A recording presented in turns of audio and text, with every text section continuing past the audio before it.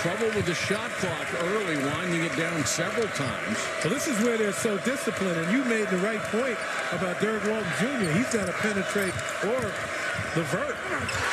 And LeVert has it rejected, goes down the lane, kicks it out of bounds.